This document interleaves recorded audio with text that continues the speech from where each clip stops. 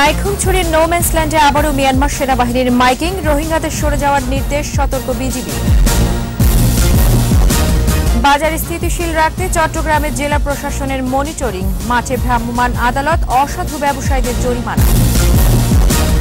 এবং শাহ আমানত বিমানবন্দরে পঁয়তাল্লিশটি স্বর্ণের বার উদ্ধার। প্রায় দাম আড়াই কোটি টাকা।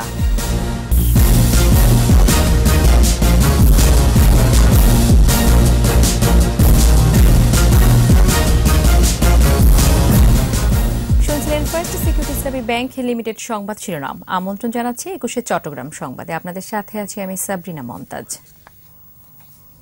বান্দরবনের নাইখংছড়ি তুম্বুরু সীমান্তে নোম্যান্সল্যান্ডে রোহিঙ্গাদের সরে যেতে আবারও মাইকিং শুরু করেছে মিয়ানমারের সেনাবাহিনী। তুম্বুরু খালের পাহাড়ি ঢল থেকে বাঁচতে রোহিঙ্গারা নোম্যান্সল্যান্ডে নতুন করে মাজাঘর তৈরি শুরু করার পর কাটাতারের ওপারে মাইকিং শুরু হয়। সকালে কয়েক দফায় মাইকিং করে রোহিঙ্গাদের সেখান থেকে সরে অন্যত্র আশ্রয় নিতে বলেছে। প্রায় পাঁচ হাজার রোহিঙ্গা তুমরু সীমান্তে নোম্যান্সল্যান্ডে অবস্থান করছে। এদিকে বিজিবিও সতর্ক অবস্থানে রয়েছে বলে জানান কক্সবাজার বিজিবির চৌত্রিশ ব্যাটালিয়নের অধিনায়ক লেফটেন্যান্ট কর্নেল মঞ্জুরুল হাসান খান। এদিকে আগামী দুই মাসের মধ্যে এক লাখ রোহিঙ্গাকে নোয়াখালীর ভাষাঞ্চলে সরিয়ে নেওয়া হবে বলে জানিয়েছেন ত্রাণ ও দুর্যোগ ব্যবস্থাপনা মন্ত্রণালয়ের সচিব এস এম শাহ কামাল। সকালে উখিয়ার বালুখালীর রোহিঙ্গা ক্যাম্প এলাকায় দুর্যোগ মোকাবেলার প্রস্তুতি মহড়া উদ্বোধনের সময় তিনি একথা বলেন। তিনি বলেন, কক্সবাজারের বিভিন্ন ক্যাম্পে এক লাখ তেত্রিশ হাজার রোহিঙ্গা পরিবার আশ্রয় নিয়েছে। এদের মধ্যে বত্রিশ হাজার পরিবার প্রাকৃতিক দুর্যোগের ঝুঁকিতে রয়েছে। তাদের নিরাপদ স্থানে সরিয়ে নেয়ার কাজ চলছে। এরই মধ্যে পাঁচ হাজার পরিবারকে ক্যাম্পের অন্যত্র নিরাপদ স্থানে সরিয়ে নেওয়া হয়েছে। সেনাবাহিনীর দশ পদাতিক ডিভিশনের GOC major general Maksudur Rahman সহ বিভিন্ন সংস্থার ঊর্ধ্বতন কর্মকর্তারা সে সময় উপস্থিত ছিলেন। নিত্যপণ্যের বাজার স্থিতিশীল রাখতে বাজার মনিটরিং অব্যাহত রেখেছে চট্টগ্রাম জেলা প্রশাসন। আজও বিভিন্ন বাজারে অভিযান চালিয়ে জরিমানা করেছে জেলা প্রশাসনের ভ্রাম্যমাণ আদালত। বাজার নিয়ন্ত্রণে রাখতে মনিটরিং কার্যক্রম অব্যাহত রাখার পাশাপাশি মধ্যস্বত্বভোগীদের দৌরাত্ম্য বন্ধের দাবি জানিয়েছেন ক্রেতারা। ইফরাজ নূরের ক্যামেরায় হাসান ফেরদৌসের রিপোর্ট, জানাচ্ছেন মাসুম আলিসা রমজানকে ঘিরে নিত্যপণ্যের বাজার যাতে অস্থিতিশীল হয়ে না ওঠে, এজন্য জেলা প্রশাসনের পাঁচটির বিশেষ টিম গত কয়েকদিন ধরে টানা অভিযান চালাচ্ছে নগরীর বিভিন্ন বাজার ও শপিং মলে। নির্বাহী ম্যাজিস্ট্রেটদের নেতৃত্বে পরিচালিত এই টিম শনিবার নগরীর বিভিন্ন কাঁচা বাজারে অভিযান চালায়। বাড়তি মূল্যে পণ্য বিক্রি, মূল্য তালিকা না টাঙানো সহ বিভিন্ন অপরাধে অসাধু ব্যবসায়ীদের জরিমানা করে জেলা প্রশাসনের মনিটরিং টিম। তালিকা লিখতে পারি নাই। এখন একটু দেরি হওয়ার কারণে এটার মধ্যে কেন তালিকা লিখছো? সেজন্য আমাকে এক হাজার টাকা ফাইন করছে। কথা আমার রেটটা সবসময় ঠিক থাকে না বুঝেন নাই? আজকে এক রেট কালকে এক রেট তালিকা তো আমরা সকাল থেকে লাগাইছি। যখন মাল আসছে তখন আমরা মালের তা লেখার জন্য তালিকাটা নিচে নামাইছিলাম তখন ম্যাজিস্ট্রেট ভিডিও করছে আর কি। বাজার স্থিতিশীল রাখতে নিয়মিত মনিটরিং এর দাবি জানিয়েছেন তারা। তালিকা থাকে না দাম আরও বেশি থাকে এখন মেস্ট্রির আসাতে একটু অনেক কম নিচ্ছে। শশা কোচের আপনি আশি টাকা সত্তর টাকা কেজি। ওই শশা কেজি হলো আপনার তিরিশ টাকা। যে হারে জিনিসের দাম বাড়ছে সেটাতে সরকারের অবশ্যই মনিটরিং থাকা উচিত। রমজানে নিত্যপণ্যের দাম স্থিতিশীল রাখতে অভিযান অব্যাহত রাখার কথা জানান মনিটরিং টিমের সদস্যরা। কাঁচা বাজারে যে দোকানগুলো আছে অধিকাংশ দোকানেই কোনো মূল্য তালিকা ছিল না।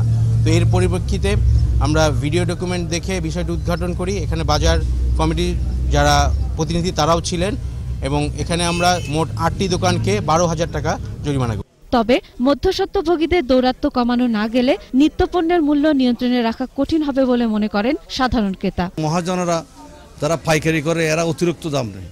মূলত খুচরা ব্যবসায়ীরা এবং আমরা যারা খুচরা যারা ক্রেতা আমরা কিন্তু আসল সুবিধাটা পাওয়া যায় না। এভাবে যদি তদারকি থাকে তাহলে বাজারের দ্রব্যমূল্য নিয়ন্ত্রণ থাকবে। Desk report Ekushey television. চট্টগ্রামের শাহ আমানত বিমানবন্দরে জেদ্দা থেকে আসা বাংলাদেশী বিমানের একটি ফ্লাইট থেকে পঁয়তাল্লিশটি স্বর্ণের বার উদ্ধার করেছে শুল্ক গোয়েন্দা বিভাগ। বিমানের শৌচাগারে পরিত্যক্ত অবস্থায় পঁয়তাল্লিশটি স্বর্ণের বার পাওয়া যায়। উদ্ধার করা স্বর্ণের বারের ওজন পাঁচ কেজি তিনশো গ্রাম। বাজার মূল্য প্রায় আড়াই কোটি টাকা। দুপুর পৌনে একটার দিকে বাংলাদেশি বিমানের বিজি ওয়ান থ্রি সিক্স ফ্লাইটটি চট্টগ্রাম শাহ আমানত আন্তর্জাতিক বিমানবন্দরে অবতরণ করে। এ সময় গোপন সংবাদের ভিত্তিতে অভিযান চালায় শুল্ক গোয়েন্দা কর্মকর্তারা।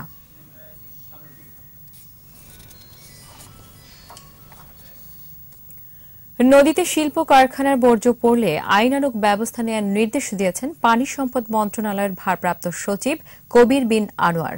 চট্টগ্রামের হাটহাজারী ও রাউজান উপজেলায় হালদা নদীর দুই পাড়ের ভাঙন রোধে দেয়াল নির্মাণ কার্যক্রম দেখতে গিয়ে তিনি একথা বলেন। সুপেয় পানির পরিমাণ বাড়াতে কর্ণফুলী, হালদা, সুরমা ও কুশিয়ারা সহ দেশের সব নদ নদী ড্রেজিংয়ের মাধ্যমে নাব্যতা বাড়ানো হবে বলেও জানান সচিব। সেনাবাহিনীর চৌত্রিশ ইঞ্জিনিয়ারিং কনস্ট্রাকশন ব্রিগেডের তত্ত্বাবধানে প্রায় সাড়ে বারো কিলোমিটার দীর্ঘ এই প্রতিরক্ষা দেয়ালের নির্মাণ কাজ শেষ হবে দুই হাজার উনিশ সালে।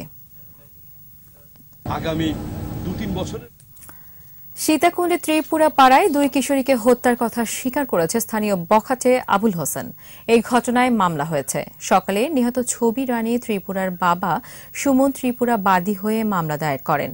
মামলায় দুই কিশোরীকে নির্যাতনের পর হত্যার অভিযোগ করা হয়। বাবুল হোসেনের অজ্ঞাতনামা তিন ব্যক্তিকে আসামি করা হয়েছে। শুক্রবার রাতে সীতাকুণ্ড পৌরসভা ত্রিপুরা পাড়া থেকে ফলিন ত্রিপুরার মেয়ে সুখলতী ত্রিপুরা এবং সুমন ত্রিপুরার মেয়ে ছবি রানী ত্রিপুরার মরদেহ উদ্ধার করে পুলিশ।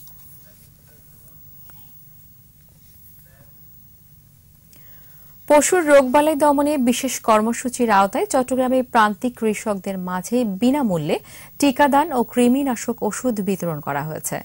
সকালে পচিয়ার কেলি শহর ইউনিয়নে এই কার্যক্রম উদ্বোধন করেন জেলা প্রাণী সম্পদ কর্মকর্তা doctor Mohammad Reazul Haque. National agriculture and technology প্রজেক্টের আওতায় দেশব্যাপী এই কর্মসূচি গ্রহণ করা হয়েছে। উদ্বোধনী অনুষ্ঠানে বক্তারা পশু পাখি পালনের ক্ষেত্রে সবাইকে আরও সচেতন হওয়ার আহ্বান জানান। পীর ওলামা মাজারের খাদেমদের ওপর হামলা এবং খুনের ঘটনায় জড়িতদের শাস্তি না হওয়ায় আলেম ওলেমারা নিরাপত্তাহীনতায় ভুগছে বলে অভিযোগ করেছেন আহলে সুন্নাত ওয়াল জামায়াত সমন্বয় কমিটি। দুপুরে চট্টগ্রাম প্রেস ক্লাবে আয়োজিত এক সংবাদ সম্মেলনে অভিযোগ করা হয়। এ সময় চকরিয়ার হারবাং ইউনিয়নের শাহ সুফি মাজারের খাদেম ফয়েজ আহমেদ ফকির ও তার পরিবারের উপর নির্যাতনকারীদের পুলিশ গ্রেপ্তার করছে না বলে সংবাদ সম্মেলনে অভিযোগ করা হয়। অবিলম্বে এসব ঘটনায় জড়িতদের গ্রেপ্তার করে আইনের আওতায় আনার দাবি জানান বক্তারা।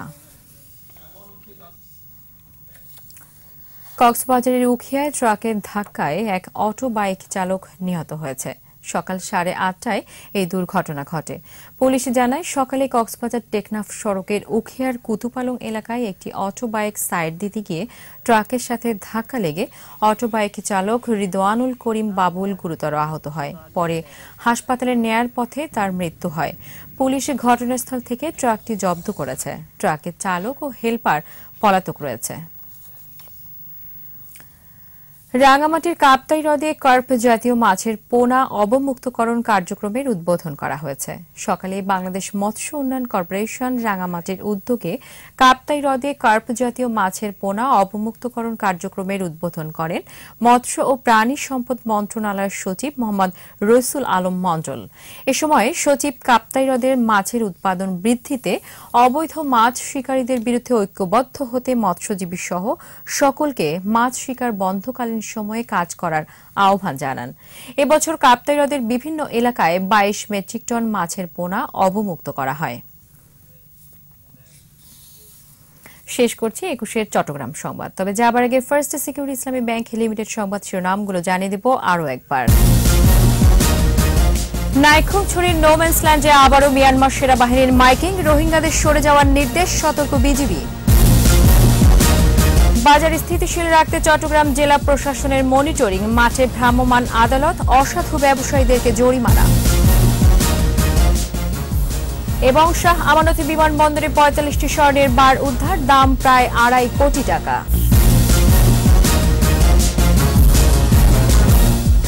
সর্বশেষ খবর জানতে ডায়াল করুন টু জিরো টু ওয়ান নম্বরে আর ভিজিট করুন একুশের ড্যাশ টিভি ডট কম ওয়েবসাইটে। এছাড়া ফেসবুকে লগ ইন করতে পারেন Facebook dot com slash Ekushey twenty four অনলাইনে এতক্ষণ সাথে থাকার জন্য ধন্যবাদ সবাইকে। পরের সংবাদ সন্ধ্যা সাতটায়। দেখার আমন্ত্রণ রইল একুশের সাথেই থাকুন।